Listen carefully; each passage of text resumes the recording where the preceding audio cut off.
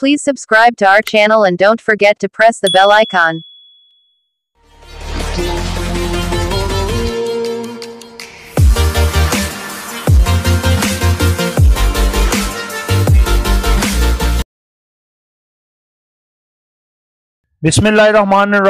अस्सलाम वालेकुम प्यारे दोस्तों, भाइयों, बहनों, नौजवानों के हाल हैं? सब ठीक है? अल्लाह पाक से उम्मीद करता हूँ कि सब ठीक ठाक होंगे।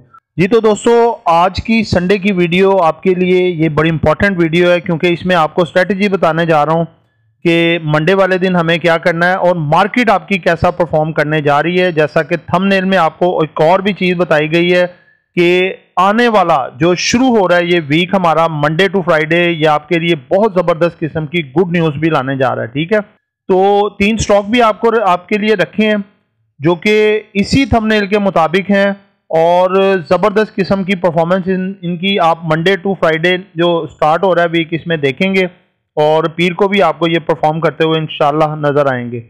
तो वीडियो तमाम दोस्त पूरी जो है अटेंशन से आप सुनिएगा और आपको इसमें काफ़ी इंफॉर्मेशन मिलेंगी, ठीक है? तो जिन दोस्तों ने अभी तक वीडियो लाइक नहीं की बरए मेहरबानी लाइक कर दें चैनल को सब्सक्राइब कर दें और वीडियो तमाम दोस्तों के साथ शेयर कर दें, क्योंकि सबको इसका फ़ायदा पहुँचने वाला है। और जो दोस्त हमारे ऑफिशियल व्हाट्सएप ग्रुप में और लर्निंग व्हाट्सएप ग्रुप में आना चाहते हैं, वो नंबर नोट कर लें zero three two three four seven one four five two eight क्योंकि इसमें आपके लिए ज़बरदस्त किस्म के स्टॉक्स के बाय अलर्ट विद बाय और सेल कॉल जारी किए जाते हैं विद स्टॉप लॉस और जो कि डे ट्रेड डे ट्रेडर्स के हवाले से भी होते हैं और लॉन्ग टर्म के हवाले से भी होते हैं, ठीक है? तो दोस्तों वीडियो शुरू करने जा रहा हूँ। सबसे पहले मैं आपके साथ थोड़ा ये डिस्कस करूँगा कि पिछले पूरे वीक के अंदर फ्रॉम मंडे टू फ्राइडे और फ्राइडे वाले दिन। मैं अलहदा अलहदा नहीं, आपको बताऊँगा इनकी फिपी लिपी इसको शॉर्ट करके बताता हूँ, क्योंकि संडे का दिन है, माशाल्लाह आप इजी हैं और आपने दूसरे भी काम करने हैं तो वीडियो का थोड़ा सा टाइम लूँगा।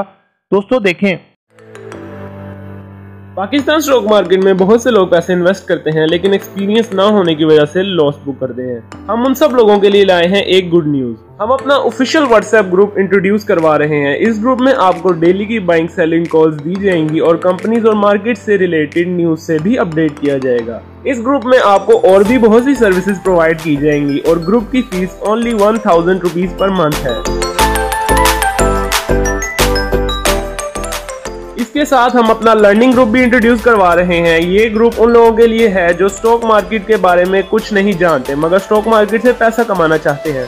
इस ग्रुप में आपको स्टॉक मार्केट से रिलेटेड ए टू जी सब कुछ सिखाया जाएगा। ये फोर मंथ का कोर्स है और मंथली फ़ीस है फाइव थाउज़ेंड रुपीज़ स्क्रीन पर चलते हुए नंबर पर कॉन्टैक्ट करें और इन दोनों प्रोजेक्ट में से जिसमें भी आप इंटरेस्टेड हैं, उसमें अपनी रजिस्ट्रेशन करवाएँ। आपको मैं पिछली वीडियोस में भी बताता रहा हूँ कि फॉरेन कारपोरेट्स हमारा सबसे बड़ा सेलर है। मार्केट में पैनिक डालने की भी वजह सिर्फ़ ये म्यूचुअल फंड बना हुआ है। तो म्यूचुअल फंड ने पूरे वीक में सबसे ज़्यादा सेलिंग की है।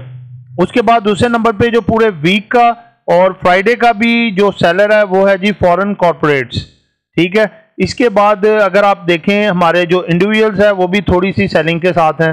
ठीक है? उसके बाद अगर आप दूसरे अदर सेक्टर्स देखें, जैसे कि ओवरसीज़ पाकिस्तानी है, उन्होंने थोड़ी सी बाइंग की है। उसके अलावा अगर आप देखें कि हमारी जो कंपनीज़ हैं, वो अच्छी खासी बाइंग पे हैं। और बैंक्स को अगर आप देखें तो बैंक्स जो है पूरे वीक में भी और फ्राइडे वाले दिन भी सबसे बड़ा बायर है। और ये देखें कि अगर आप सेक्टर वाइज देखें ना तो जिन्होंने सबसे ज़्यादा सेलिंग की है और जिन्होंने सबसे ज़्यादा बाइंग की है, वो हमारे पास हैं जी।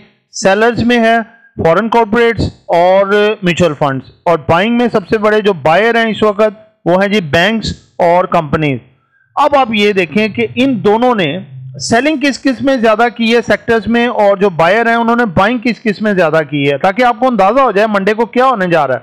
तो दोस्तों जो फॉरेन कारपोरेट्स हैं, इन्होंने सबसे ज़्यादा जो सेलिंग की है, वो बैंक्स को बेचा है इन्होंने। बैंक्स में इनकी पैनिक पैनिक सेलिंग थी। और इसके बाद अगर आप फॉरेन कारपोरेट्स की तरफ़ आए तो इन्होंने सबसे ज़्यादा टेक्नोलॉजी में सेल सेल आउट की है। तो अगर हम बायर्स की तरफ़ से आए तो जो बैंक से सबसे ज़्यादा बायर है, इन्होंने अपने कमर्शियल बैंक्स को ही सबसे ज़्यादा बाय की है। और अगर आप इन अदर हैंड आए कंपनीज़ को तो कंपनीज़ ने टेक्नोलॉजी को भी बाय किया है बैंक्स को भी किया है, और सीमेंट सेक्टर में बहुत बड़ी बाइंग है बैंक्स के साथ। बैंक्स ने बैंक्स के बाद सीमेंट सेक्टर में सबसे ज़्यादा बाइंग की है। तो दोस्तों, ये आपके सामने थोड़ा पूरा वीक का भी स्नैरियो आ गया और फ्राइडे का भी स्नैरियो आ गया। अब आपको मैं छोटी सी बात बताऊँ कि देखें, जो म्यूचुअल फंड्स होते हैं, ये पैनिक सेलिंग करते हैं सिर्फ़ मौजूदा कंडीशंस के हालात को, वाकयात को देखते हुए। और जो बैंक्स होते हैं और ये अपनी होल्डिंग भी शॉर्ट टर्म के लिए रखते हैं, उसके बाद सेलिंग पे आ जाते हैं। अगर आप बैंक्स और कंपनीज़ को देखें तो इनकी जो बाइंग होती है ना, वो होती है थोड़ी लॉन्ग टर्म के लिए। बैंक जो है माल को रख के होल्ड करके बेचते हैं। जैसा कि हम लोग भी करते हैं अपने ग्रुप में, अल्हम्दुलिल्लाह। उसके बाद कंपनीज़ हैं, उनका भी यही सिनेरी होता है, वो ज़्यादातर माल को होल्ड रखती हैं और होल्ड रख के बेचती हैं। अब देखें कि बैंक्स जो हैं, पिछले वीक में भी बाइंग पे थे, उससे पिछले वीक में भी बाइंग पे थे। ये उनका तीसरा वीक क्लोज हुआ है जो बाइंग पे है। और इस बेसिस पे आप देख सकते हैं कि इनकी बाइंग भी अच्छी खासी तगड़ी हो चुकी है। और दूसरे नंबर पे जो म्यूचुअल फंड्स हैं इनकी जो सेलिंग है, वो कदरे इस वीक में काफ़ी कम हुई है। यानी कि ये भी थम गए हैं, ये बाइंग पे आ सकते हैं नेक्स्ट वीक में। और जो फॉरेन कॉरपोरेट्स हैं, उनकी ठीक ठाक सेलिंग थी। वो भी जो है, उम्मीद है कि इन्होंने जो सेलिंग की है, इनकी अगले वीक में वो कम हो सकती है। तो दोस्तों, अब हम जो रिज़ल्ट अखज करते हैं ना, एक तो ये देखें कि बैंक्स और कंपनीज़ इंश्योरेंस कंपनीज़ और जो है अपना ओवरसीज पाकिस्तानी, ये बाइंग पे हैं। तो बात यह है कि जब इनकी माशाल्लाह होल्डिंग है, ये अगला वीक भी इनका बाय पे जाता है और बल्क बाइंग आती है तो एक तो फिपी लिपी के हिसाब से हम ये रिज़ल्ट उखज कर सकते हैं कि मंडे को आपकी मार्केट इन ताला ग्रीन हो सकती है, अगर इसमें सेंटिमेंट्स ना आए।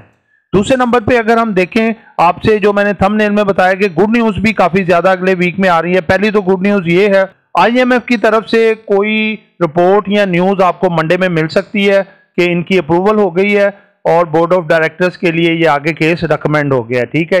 तीसरे नंबर पे जो रेकोडिक वाला मामला फाइनलाइज हुआ है, इसकी भी अपडेट आ सकती है। ये भी आपकी एक अगली नेक्स्ट खुशखबरी होगी।